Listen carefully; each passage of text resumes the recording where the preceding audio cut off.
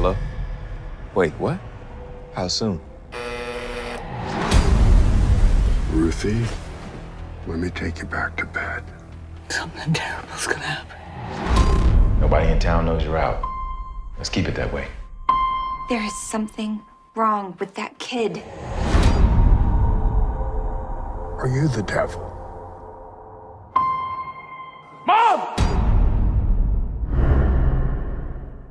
Yeah.